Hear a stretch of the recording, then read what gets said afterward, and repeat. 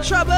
Yes, that's why we came here, to fix it. You want take a walk on the wild side. I don't do married men.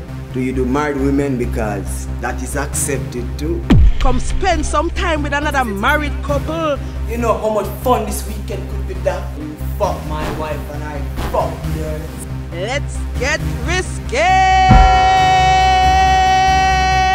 Opening Friday, July 12. Come on, Howard. That's a nice piece of ass. Squeeze it.